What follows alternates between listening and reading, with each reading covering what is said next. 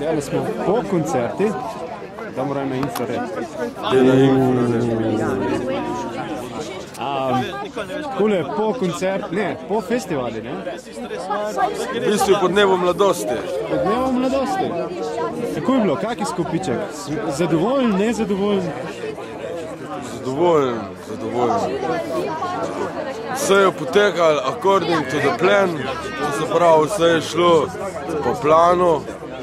Um, v bistvu smo plan celo malo prehteli na začetku, na koncu pa lepo ujeli zaključek in zdaj, kar zdaj se vidi, če se kaj vidi, je ena vrsta after party pač.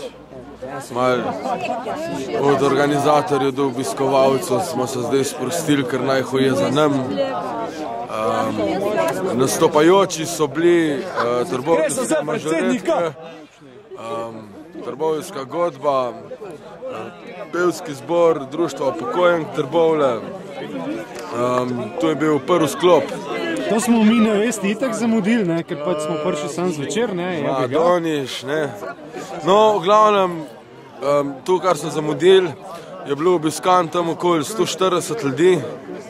Um, medgeneracijsko, totalno, od en let pa pol starega do ne vem, koliko je bila tista gospa stara, pa tisti gospod, ampak obe, oba dva skupaj sta imela 8 nog. E, bila sta, um, bila sta pa navdušena. Ne. Tudi odziv, sama publika čez dan je bil, rekel, vesel. Um, so spremljali, so pozdravili. Tako da ja, prvi del je bil odličen na nivoju. Posebej bi pohvalil ta pevski zbor teh um, upokojenk.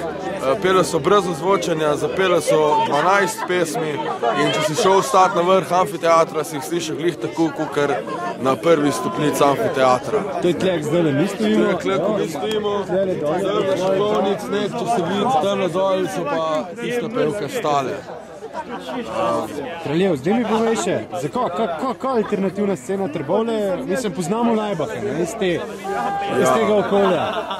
Zdaj pa rad nove, ne, se kaj novega Ja, naredi. ja. No, tu je bil pa pol drug del. Ne. Je bilo pa v bistvu sam par predstavnikov um, te alternativne scene. So bili štiri bendi, uh, prvi bend je v bistvu najmlajši bend, čeprav te, ko igrajo noter, pa tako so že dolg, mislim, deset let, sigurno na, na trbovljski glasbeni sceni, tako ali pa drugače. Uh, imenuje se Stranski tir. Um, Leva muzika, ne vem, kako bi opisal, preveč poln vtisov še, da bi karkoli rekel. Ne. Ampak super.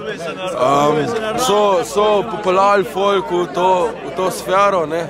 Uh, za njim so bili pa še trije bendi. En bend je bil kvazi cirkus, katerega član sem tudi jaz. Um, no, mi smo imeli dejansko eno tako vajo, no. Pa ne rečem drugega, bilo je v redu. Ostalo pa še dva, ne? Postala pa še dva, bila sta uh, Wrong Choice, to je v bistvu tudi um, ble- uh, band, to so dijaki, nekje od 16 do 18 let starosti, tak, uh, melodičen punk rock. Uh, dost njetu so igrali, ne, alternativna glasba. Um, potem pa še Datura, ne. To je pa, to je pa zdaj mlad bend, mlad bend, kako leto, ne. Igrajo pa narkopunk, ne. Zanimivost tega benda je to, da imajo vse besedile napisane v trbovščini.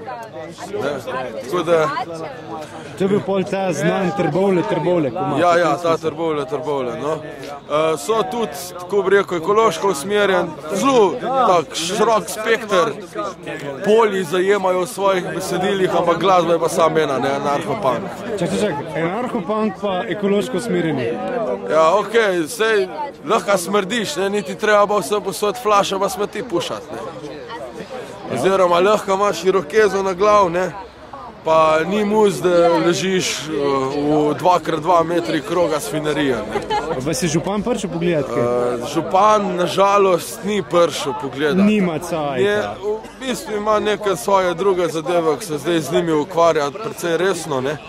Um, ne se prši pa pozdraviti uh, podžupan. Um, pa v bistvu je bila tukaj tudi uh, no, kar dosti ljudi iz občine, no, je bilo videti. Uh, tudi uh, bom rekel, čeprav smo se tu uh, zadnji trenutek spomnili, rečemo pred kakim mesecem, ne, da bi mi tu imeli, ne, je uh, zelo priskočila na pomoč. Um, tudi, tudi neke stvari je financirala. Um, v glavnem, če se bojo vnaprej še tako odrezali, ne, vsaka jim čas, ne, sam pustimo čas v čas, ne, pa bomo videli, kaj se bo zdaj naredili. Ne.